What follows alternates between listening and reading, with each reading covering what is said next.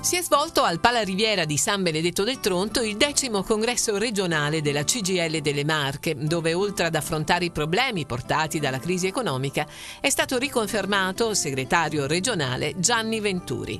È stato un grande congresso, in un mese poco più abbiamo organizzato e tenuto 2401 assemblee nelle quali sono intervenuti più di 40.000 iscritti e iscritte alla CGL. In primo luogo l'emergenza è quella di continuare a contrastare e a contenere gli effetti della crisi stessa.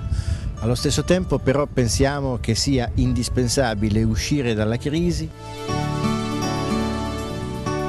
Emergenza occupazionale, riposizionamento strategico del modello di sviluppo produttivo marchigiano sono stati alcuni dei temi affrontati nel congresso, ma si è parlato anche di appalti.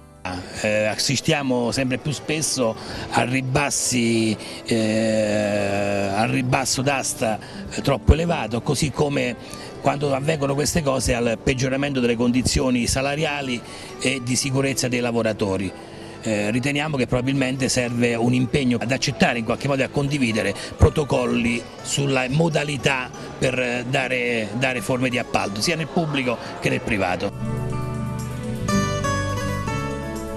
Tra i vari temi affrontati dal congresso non poteva mancare il problema scuola.